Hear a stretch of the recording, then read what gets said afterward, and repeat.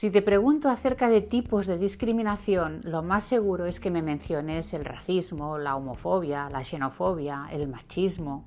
Pero, ¿sabes qué es el edadismo?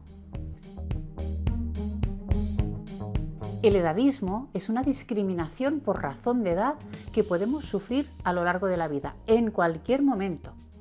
Incluso los jóvenes se pueden sentir ignorados en el trabajo, por ejemplo, aunque estén muy bien preparados.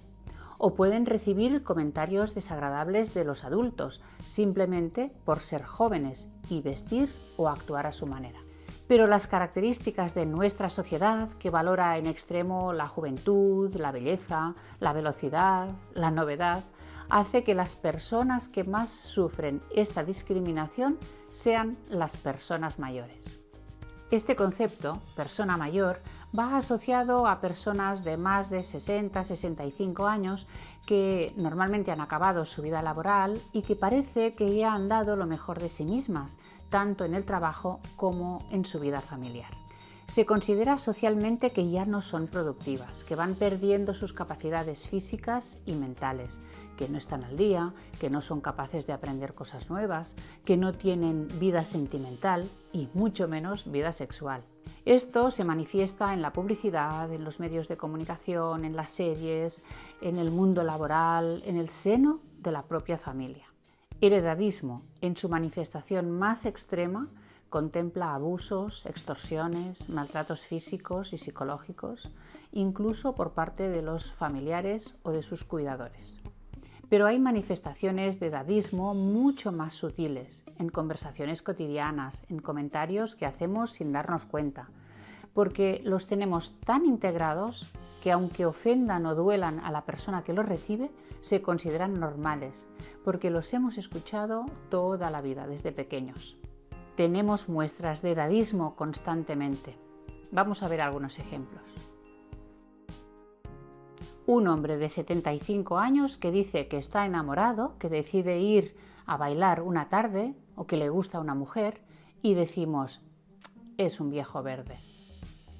O decimos también, esta mujer debió de ser muy guapa cuando era joven. ¿Qué es lo que pasa? ¿Que no podemos ser guapas a todas las edades? ¿Es que perdemos el atractivo con la edad?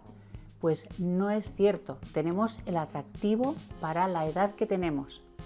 Veremos ahora una serie de manifestaciones típicas de edadismo.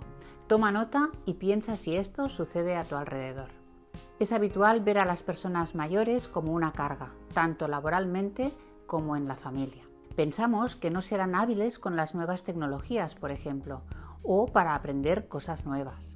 Pensamos que ya no merece la pena enseñarle algo a una persona mayor porque total, con la edad que tiene, pensar que tienen que relacionarse solo con personas de su edad o excluirles de actividades, celebraciones o viajes con la familia. Tomar decisiones que les afectan sin consultarles o hablar de ellos en su presencia como si no estuvieran. Y muchas veces creemos que no podemos aprender nada de ellos e ignoramos sus comentarios y opiniones porque pensamos que están ya desfasados. Este tipo de discriminación es tan poderosa y tan aceptada que a veces la asumen los propios discriminados sin darse cuenta y acaba siendo autoedadismo. Las mismas personas temen realizar determinadas actividades o expresar opiniones por miedo a la reacción de sus familiares. Y utilizan expresiones como, uff, yo ya estoy mayor para esto, o ah, los viejos no hacemos más que estorbar. Esto es una muestra de cómo han llegado a asumir la propia discriminación. El edadismo tiene consecuencias económicas porque las personas pierden el trabajo más fácilmente o son rechazadas en nuevos puestos. Fruto de esto aparecen trastornos psicológicos, conflictos de pareja y con la familia y también de arraigo social. En general, las mujeres recibimos esta discriminación de una manera mucho más severa pues muchas veces se nos valora por nuestra juventud y atractivo físico, por encima de todas las demás cualidades. Esto lo vemos en el cine, teatro, medios de comunicación, en el mundo de la moda. Y es conocida la frase de que un hombre madura mientras que una mujer envejece. aunque cada vez tenemos más conciencia de este tipo de discriminación y muchas grandes marcas han empezado a contratar modelos mayores o a hacer una publicidad inclusiva, tenemos mucho que hacer todavía, especialmente en el mundo de la empresa y en la sociedad en general. ¿Qué podemos hacer cada uno de nosotros de manera concreta y desde hoy mismo? En primer lugar, hablemos con propiedad no llamaremos abuelo o abuela a una persona solo porque la vemos mayor. La forma de llamarla o de dirigirnos a esta persona es señor o señora, o por su nombre si la conocemos, pero probablemente ni siquiera sabemos si tiene nietos. Tampoco utilizaremos la expresión nuestros mayores cuando hablamos de los adultos mayores. Este calificativo de nuestros es paternalista y condescendiente. ¿Qué podemos hacer en casa, en nuestra propia familia? Mantener una relación lo más frecuente posible entre generaciones, entre abuelos y nietos, por ejemplo. En general, entre los miembros de todas las edades.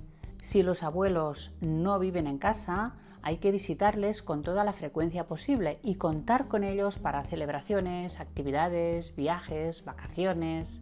La soledad es una de las plagas más devastadoras en las sociedades modernas y afecta sobre todo a las personas mayores.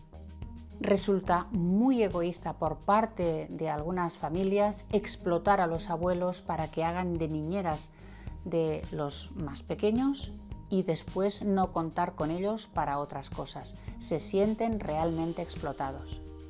Nunca hay que presuponer que alguien no es capaz de aprender algo nuevo o de entender algo a causa de la edad que tiene. En las fiestas, comidas, sobremesas y cualquier momento del día tenemos que integrar a todo el mundo en la conversación, tanto a los más jóvenes como a los más mayores. Unos aprenden de otros. Imagina, por ejemplo, una cena una comida de Navidad. Se habla de nuevas aplicaciones, teleseries de moda, de compras por Internet, de inventos tecnológicos o de trabajos muy especializados que no existían hace una década. Entonces, estas personas más mayores de la mesa piensan que están desfasadas, no intervienen en la conversación y acaban por rendirse porque no entienden de lo que se habla llegan a desconectar mentalmente, se quedan calladas y como ausentes, y esto favorece que los demás miembros de la familia no las tengan en cuenta y que las vean como incapaces de entender y participar en la conversación. Pues hay que romper este círculo, porque las cosas se pueden explicar muy bien, se pueden mostrar fotos, se puede ser más didáctico, se puede hacer partícipe a todo el mundo del tema del que estamos hablando, no debemos reírnos o burlarnos de las opiniones o intervenciones de nadie, tenga la edad que tenga. Tenemos que aceptar siempre las opiniones con respeto e interesarnos por los argumentos y las experiencias de los demás.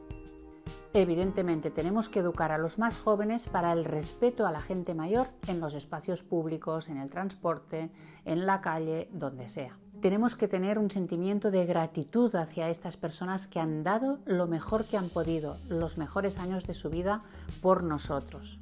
Y si los mayores van perdiendo facultades, no es culpa suya. El amor y el cariño que merecen nos permitirá ser pacientes, repetir las cosas las veces que haga falta, con amabilidad y educación. Hay que tratarles con cariño, ayudarles físicamente y emocionalmente para que no se autoconsideren un estorbo. Y, muy importante, no les hables como si fueran niños pequeños. Este trato es humillante. Si lo piensas bien, el edadismo nos afecta a todos, pero probablemente no nos damos cuenta hasta que nos afecta en persona. Si eres mayor, no te autodiscrimines. Y si eres joven, piensa que un día serás mayor. ¿Qué puedes hacer para evitar esta discriminación?